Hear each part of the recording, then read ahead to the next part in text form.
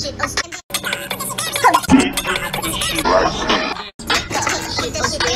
up.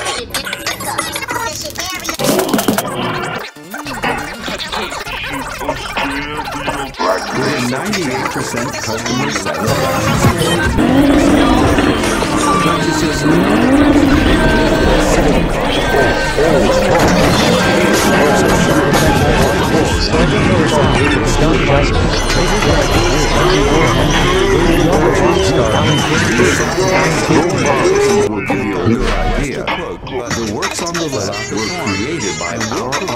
With a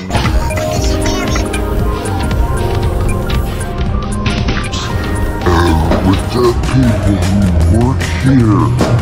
And so they're not comfortable with that.